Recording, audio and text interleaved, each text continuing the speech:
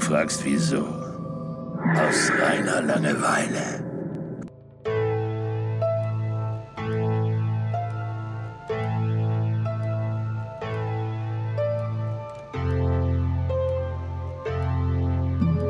Wir Shinigamis haben heutzutage nichts mehr zu tun. Wir schlafen bis mittags und den Rest der Zeit zocken wir. Shinigamis sterben selbst dann nicht, wenn man ihren Namen in das Buch einträgt. Und von unserem Reich aus Menschen in ihrer Welt umzubringen, macht auf Dauer auch keinen Spaß. Da dachte ich mir, dass es hier vielleicht interessanter sei.